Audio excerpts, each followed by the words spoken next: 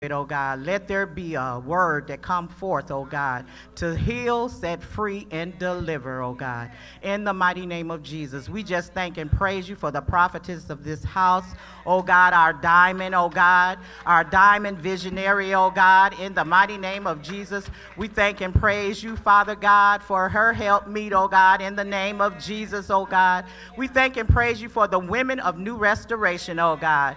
Use us like you never have before, oh Oh, God. And we just thank and praise you in Jesus' name. Amen.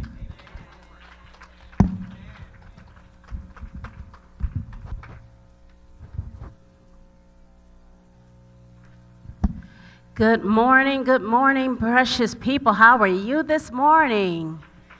Amen. Come on, give God some praise. So now, because it's few in numbers, I'm going to ask y'all can save y'all seats if y'all put hats or whatever on, the on there. But can you please move up to like the first two rows?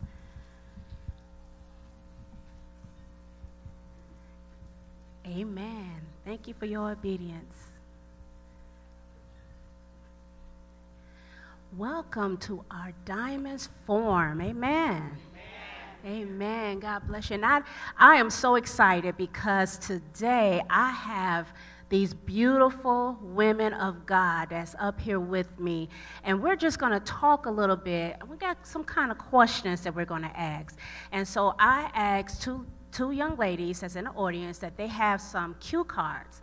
And with those cards, um, she's going to pass, they're going to pass it out to you. And with those cards, we're going to ask you to write down different things that, um, what to go with the questions that I'm asking on this morning. And so, uh, when, once you write it down, you're going to come up and you're going to place them face down on the stage. We're not going to look at them, not going to read them, but we're going to allow the Lord to have his way. Amen?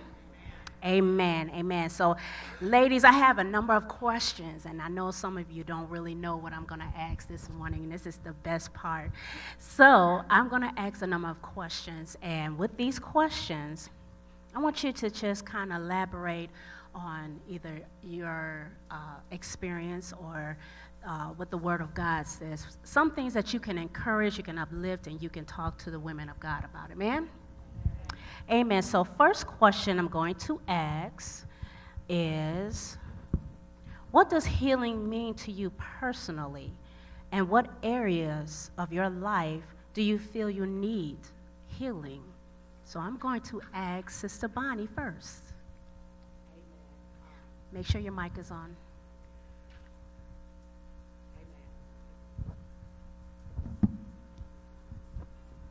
Amen. Good morning, Amen. saints. Um, when I think of healing, um, from my personal experience, healing in my body is when I'm going through, I give God back His word, put a scripture on it. Um? I apologize. What does healing mean to you personally? Oh, healing, total deliverance, healing in my body, my mind, my soul, giving it all to God, whatever it is that I need healing from, whether it's dealing with uh, certain situations that I'm going through, uh, and trusting and believing God that He's able to do it. Amen. Amen. And so, what areas of your life do you feel you have the need of healing? Sister Pam. Good morning. Good morning. Um, areas of healing for me would be, um, if I think about it hard, um, I needed healing from forgiveness. Um, pa- part, parts of my life, um, I didn't let go some things, uh, but until I let it go, now I'm walking into my healing now. Amen. Amen. What do you think about it, Melissa? I think about the, um, I have, from experience, I have um, PTSD, and I, I'm healing from thinking negative thoughts and just really giving those negative thoughts to the Lord. Um, something so minute can be so big and drastic to me, and it takes me out. So my healing and my journey right now is definitely um, healing from PTSD and hypertension. Um, I refuse to be medicated.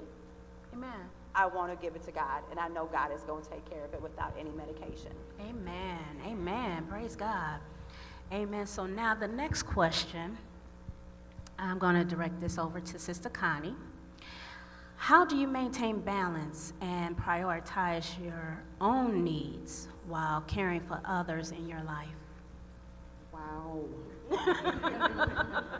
Amen. Amen. God is so amazing.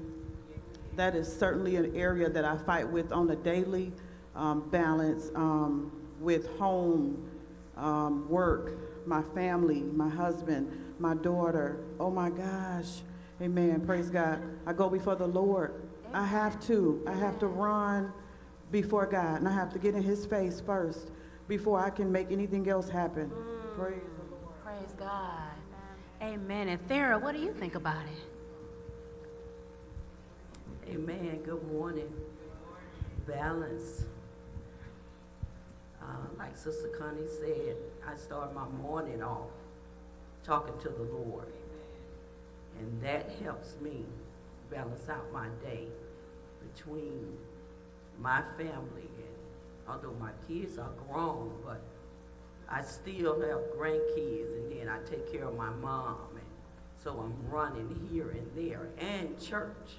So I mm-hmm. have to balance that out because I have my family, I have my mom, I have church and so if I go before the Lord in the morning and pray and allow him to direct my day, then everything else balance out. That's how I cope with balancing my day. Amen. Amen. Amen. So the next question is I'm going to direct this to Latoya. What strategies or practices have you been most effective for in overcoming past traumas and challenges? I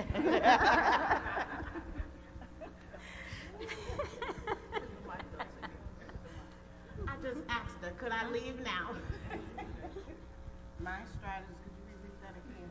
I got lost. I'm going to try. Okay, let's see. what strategies or practices have you been most effective for you in overcoming past traumas or challenges? I will say the number one strategy I've been using lately, and I'm, I'm, gonna be honest, because Dad had talked on a message about reset, and I mentioned to one of the sisters yesterday that I had to reset for a reason, because in your, you can say all day long you trust and believe God, but internally, when your heart is not matching up what you see or what you say, it can be, it can be a, a I mean, a long journey. So what I've been using and saying to myself every day, over and over, I trust and believe God. I'm not going to get emotional, but you really have to know within your own self, and it has nothing to do with people, but within your own self and believe what God says. It doesn't matter how long it takes, but my strategy has been every day, and it's been a journey to trust and believe what God says. Our journeys are not all the same. They're all different, and they all carry different weight. But you have to know without a shadow of a doubt that you trust and believe God all the way. Mm. So that's what I've been using every day. That's strategy every day. Believe what he said and what he told me and what his word says and what we have been taught and what we can learn from each other. So that's what I've been doing. Wow. And overcoming life trials, tribulations, uh, mishaps. You know, it's all about believing. And do you believe and do you know that he can do it? If he did it for that, Amen. he can do it for this. So Amen. constantly, I reset every day to believe and know that God is who he is regardless. Amen. Amen. Amen. I kind of want to linger on that question. Is anybody else on the panel that want to want to elaborate? Sharon? Amen. I agree. Um, the tasks every day, the challenges every day, you have to believe that God will bring you through. Amen. You have to just fall on your face, on your knees, whatever it is, whatever it takes to get through. Sometimes you might get weary and well doing, but God said, keep pushing, mm. keep pushing. I'm mm. extending my hand to you. Mm. I am extending you. I am lifting you up. So you just have to be prayerful and careful, especially dealing with family, children. You know, you just, you know, have to be, you know, prayerful Amen. and just keep, continue to seek God. Amen. Amen. What do you think, Jennifer? I would say, for me, and from experience for myself, is stepping back and analyzing the situation. Um, as most of us said, prayer is always the most important thing to start with. And then also analyzing that I had to learn that everybody else's problem is not a weight on me. So oh. therefore, those strategies that you use and the trauma, because th- some of that can lead from you taking on other people's problems, mm-hmm. mm. whether it's your family, whether it's your Right. children. And so mm-hmm. learning from that, the strategy is, is not my problem. That's it. I'm going to pray for you, and I'm going to let God do what He needs to do. So therefore, that's taking the stress and everything off of me, and I don't have to worry about praying extra hard and stressing out over things that's going on. Amen. Mm, Amen. Amen. Amen. Amen. I, I'm just stuck on this question. What do you think, Bonnie? Amen. Um, piggybacking off what the sister said, standing on God's word, Numbers 23 and 19, been in my spirit all week, that God is not a man that he should lie. And I thank and praise God because even though I don't see it, I'm continue to stand and believe his word because I know God is able. And even all the series that has been going forth, I began to write them down and I began to get up in the morning and study and meditate on them. And I just asked God, God, show me what it is that I need to do because I don't want to do nothing out of your will. And I just thank and praise God because everything that he does for us, even though we may be going through and it be painful, it's a purpose. Amen. And I thank and praise God for his purpose. Amen. Amen. Sister Pam, what do you think? Well, I knew you was going to call me. um, this year became a year where I took back um, life. Um, everybody said a piece of what what I do on a daily. So, being on a ministry and learning and studying the Word of God and trusting His Word, I literally tackle things as though He already done fixed it. He already have my back. So I'm like a mad woman, like, you said in your word, Lord. This, this, this, this, this. And I just go walk. I don't doubt it anymore. I don't question him no more. I mm-hmm. just go. Mm-hmm. And when I tell you it works itself out, I'll be like, you did that. At the end of the day, I always tell him, you did that for me. Because you get challenged, right? And there are strategies you're supposed to use to kind of not react, right? And we have to be careful how we respond, because there's a difference. So right now, when I tell you my victory came on Friday, something I was battling with for seven months on my job. Wow. And I stayed in the Word, and God told me Friday morning, I saw your tears, I heard your mm. prayers. He said, now you're in your victory. And it happened too. Wow. So I'm going to keep on doing what I'm doing. Right. Okay? I'm going to keep on do- trusting Him and moving like a train and never look back at a situation because He already worked it out. Come on, come on. Amen. Amen. Sister Connie, you want to elaborate? You know, the Bible talks about giving thanks in all things, um, big and small. And I've been learning to give God thanks for my trials, my tribulations, um, not just for the good things, you know, that happen, but I've been giving Him thanks for the issues. Um, and what Sister Pam was saying, thanking Him in advance for what He's going to do. So I'm thanking Him for the, the bad times, thanking Him for the good things. Hambaboshe. Woo. And I'm thanking Him for what He's about to do. Thank- Yes, amen. Praise God. Amen. Sister Melissa. if walking by faith and not by sight was a person, that would be me. I, I reiterate that to myself every day. I wake up and I look at myself in the mirror and I say, You walking by faith and not by sight today. No matter what's going on in this world, no matter what's going on in this crazy mind of yours that the devil tries to take from you, you have to believe that God has got your back. God has got your best interest. God has never, ever, since I was a child, has ever left me nor forsaked me. And it's a matter of no matter what things look like in your life, your bank account can be at a zero. Your lights could be turned off. You're wondering how you're gonna feed yourself. But God will bring somebody Come to on. say, Would you like some would you like some lunch?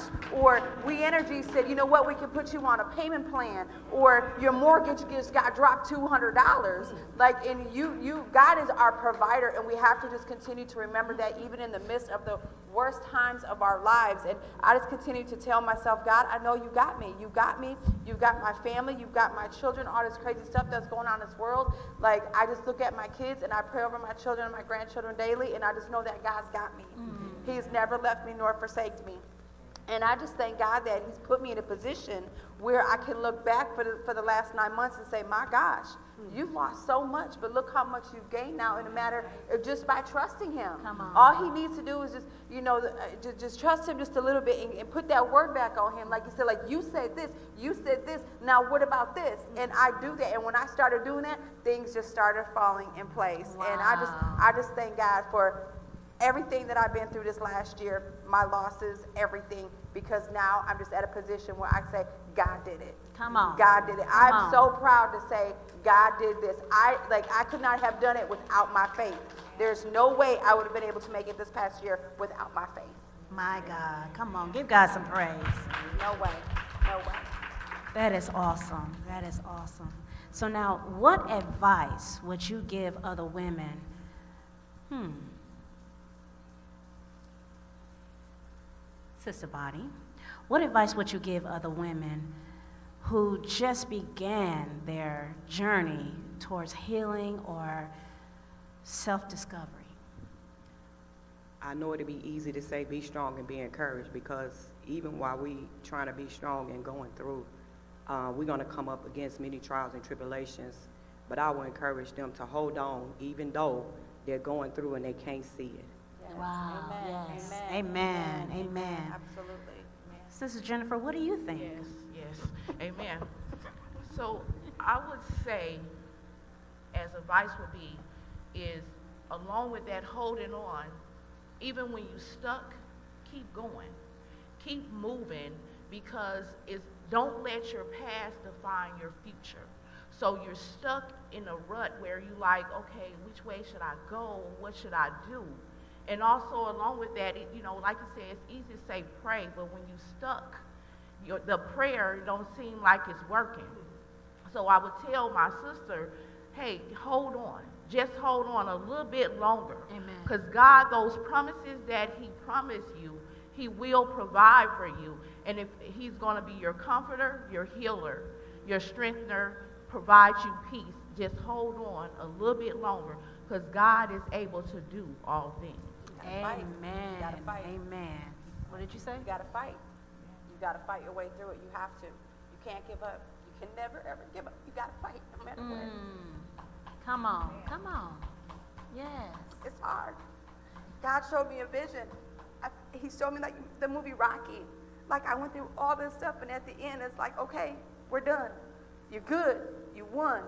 Now let's reward you. Mm. You know, because I fought a battle, not only a spiritual battle, but a physical battle, a mental battle, an emotional battle, and God was with me the whole time.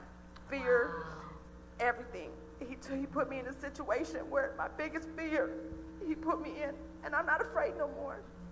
He put me in situations where I had to overcome being in the dark, literally in a dark place. But I saw the light, Wow. and God was my light. Yes. Like he, I could actually see things when it was dark out. I'm like, wow, I can see, you know. And that's God showing me, like, I got you, Melissa. Don't be scared. I'm here. I put you here for a reason, mm-hmm. you know. And just certain things that I've been able to minister to women and say, you don't have to be afraid. Just trust in God, believe in God. Let me sit and talk to you. Mm. You know, I don't like to put my business out there, but You know, you got to kind of have that fine line, but you just got to encourage somebody and say, you know what, I've been through that. I've seen what you're going through. You know, I, how did you make it? God. It wasn't my, it wasn't medication. It wasn't a substance. It wasn't a person. It was the Spirit of the Lord. And all I would keep asking God was, just don't leave me. And I would feel Him every single day with me. Praise God. Praise God. Anybody else want to elaborate? Can I say, Go ahead. when you're talking about how to encourage someone that's new to this, it's okay to be vulnerable. They need to know that. And they need to connect with someone that can show compassion. Compassion can't be taught. Okay, it's got to be requested from God because I never had compassion. And I used to tell Carl Toya all the time, I didn't have compassion. And she said, that might be something you want to pray for, considering the journey you're about to go. And when I prayed that God would give me compassion, it has opened up so many doors where I can speak to other women. And sometimes women just need a hug. Yes. And, and I, can I give you a hug? I hear the story. And then and do the encouragement like you all said. But they need to understand it's okay to be vulnerable without, without me judging you. So just that. Amen. real good. I've learned by experience, even to piggyback on what the ladies, our sisters are saying. Um, it is a journey. Um, in regards to my own self, trying to find your way in that journey and having compassion, the fight. I'll use the world for example. For example, when you're in the in the world and you just fight and you give it your all, it's different in the spirit realm, but it's more so on your knees. It's not a race whatsoever. And I would encourage a lot of young ladies on my job, you know, you don't have to clear your whole play out and just live so fully for God. Allow God to work on you and, and do surgery on you through the healing process because healing doesn't have a time frame. Everybody heals different. And I used to always tell them, being in ministry, I kept myself busy in the house of God and outside the house of God, kept my mind or, or read, you know, scriptures to encourage me or you, or what I did 24 seven. I played worship music 365 days a year and some other sisters can attest. That's what I did to keep my mind going and focus off of what I came out because a lot of our mm. traumas have been tremendous. And sometimes it's the sound and what you need to encourage you. And music certain worship music was healing for me. And every time i would play it up until this appointed time it would take me back to what i used to do when i first started this journey with god. Because tess i was not always in church. Mm-hmm. But it was the tools that i used that would constantly help me through my healing process was certain worship music and trust in his word Wow. Praise Amen. God. Praise Amen. God. So now, what role does forgiveness play in healing, well, in the healing process for both oneself and for others? Sister Thera? Amen. Forgiveness. That is so important. In order for you to heal, you have to forgive because forgiveness is for you, not the other person. That other person is study going on doing what they want to do, but you're still dwelling on it and it's taunting you. So you have to forgive in order for you to go farther mm. and you will be able to encourage someone else that's going through that. And coming to the house of the Lord, that is so important. Amen. You know, being amongst other saints, other women that can encourage you and love on you, that's part of your healing and forgiveness. Amen. Amen. What do you think, Sister Sharon?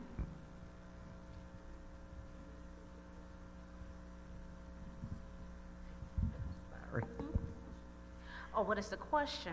Okay, what role does forgiveness play in the healing process, both for oneself and for others? Well, for me personally, I um, had experience where I thought I had forgave and gave it to God, but I found myself when the situation arose again getting more angrier. Mm. And I'm like, Lord, now I gave this to you. I've forgiven. Why am I still getting angry? But the thing was, I didn't let it go. Mm. So it manifested in harbor because it was laying dormant. Mm-hmm.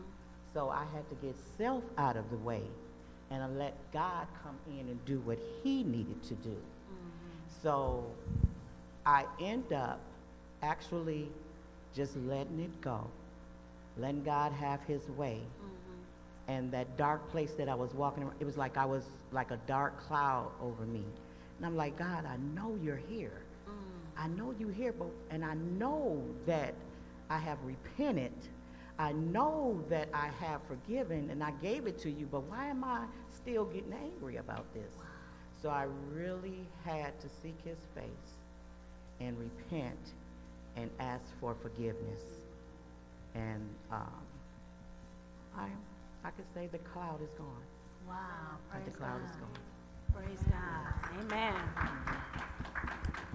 Now, again, we have cue cards out that um, if you all would like to write down things that the Lord has healed you from or things that you would like the Lord to heal you from. This is not something that is going to be read. We're not going to look at it, but this is something we want you to write down and then put it face down on the altar. Amen? Amen. Even up here, if you all feel that you have uh, one Anita or something that you all want to write down, to put it at the altar as well. Amen. Amen. So moving on. So now, how can the church community better support and comfort those who are experiencing hurt and emotional struggles? Sister Connie. Man, Um, I think it, we are our sisters' keepers, so I think it's very important to be able to, um, you know, um, reach out, you know, in a text if we can. Um, sometimes just calling and just having that person to just kind of let let out what needs to be let out. You know, sometimes people just need an ear, um, and then. Um, you know, just keeping people people in prayer and, and encouraging people to to um, come out to the house of the Lord. Um, amen. Amen. Amen. So, uh, what do you think about it, Melissa? Well, like um, Sister just said, be your sister's keeper. And that's one thing about our church is I'm proud of our church because no matter who comes through those doors, we welcome them Amen. and we encourage them and we uplift them and we welcome them. And a lot of people that I know, you know, they, they don't go to church, they don't do church. But I explain to I explain to people in the community, like my, you know, we don't, you know, we don't like to compare churches, but I do compare churches because you could walk in here and you feel the spirit. Amen. This is a place of healing and deliverance. This is a hospital. This Amen. is, this is where, you know, you can get fully delivered. You can be, you can be, excuse me, but a, a crackhead one day and come to New Rest and be saved the next day, you know? Amen. You could have HIV one day and be healed the next day. Come We've on. seen it. This is a beautiful place to come and I just thank God that we as women, we all do come together. Because we live in a world where women don't like to hold, you know, uh, embrace one another. They feel co- they're competitive with one another. But I like to tell everybody, you know what? The, the same God that did this for me can be the same God that's going to do that for you. Amen. Come to my church, meet my pastors, meet the women of God that are in my church. We will embrace you, we will love you, and we will help you through your process. Amen. Amen. Amen. What do you think, Bonnie? Amen. I just piggyback off what my sister said. Um, being able to pray for one another, um, first, I, foremost, from my experience, um, is repenting and asking God to show me me so I can be able to help others because you can't help no one without, with, with you still holding on to your hurt. So uh, I repent and I ask God to show me me to where I be able to help other women or to reach out to other women. Um, even um, giving me a scripture on what to say to help them through whatever they're going through. Amen. Amen. Praise God. Come on, give God some praise. So now this question I'm going to ask the whole panel. And just answer whenever you're ready. how has emotional hurt impacted your faith and your spiritual journey? Well, I must say for me that it did uh, put my fire out. And because I was too busy with my eyes on man instead of being focused on the Lord. So I was in that place where my fire was out and I was rebellious and I didn't want to do anything. I pulled back out of the spiritual realm and out of the natural. But again, that comes with repentance, forgiveness, in order to walk upright and walk into the things of God. Amen. Amen. For me, I, I, um, not now, but before, I kept saying, woe is me, Lord. You know, I need some help. You see them. You know, I need you. You know, you're not here. And, you know, I'm just having a pity party with myself. Um, but I just thank God for Jesus that he gave me, um, I had to forgive myself. You have to forgive yourself. It's so key, so important. You have to forgive yourself, like my sister was saying. Forgive yourself. Ask God to help you, show you what's going on with you, so that you can help somebody. You can't help nobody and tell somebody about something and ha- overcome it if you ain't been through nothing and you ain't overcame that thing. So we have to, you know, um, continue to go before the Lord, ask God to clean us, wash us, you know, and then we can be a help to others. Amen. Amen. I would say for me, my experience is when um, I fell into depression. And I didn't want to hear about church. I didn't want to do anything. Mm. You know, that was that where I was stuck. You know, if I'm going to be real about it. Come on. Um,